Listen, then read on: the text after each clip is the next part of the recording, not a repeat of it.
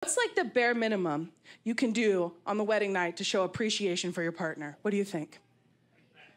Eat me, you, him eat you out? Damn, bitch. That's some bad bitch energy right there.